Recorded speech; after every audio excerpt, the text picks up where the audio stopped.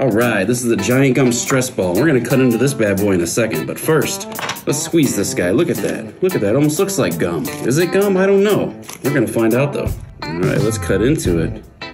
The sweet. Oh, oh my goodness. Look at that. That's like a. Mmm. Mmm. Yeah, you can't eat that, but that looks delicious. I mean, come on. How much more gummy do you get?